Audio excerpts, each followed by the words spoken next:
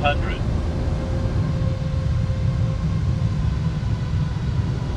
One hundred, fifty, forty, thirty, twenty, ten.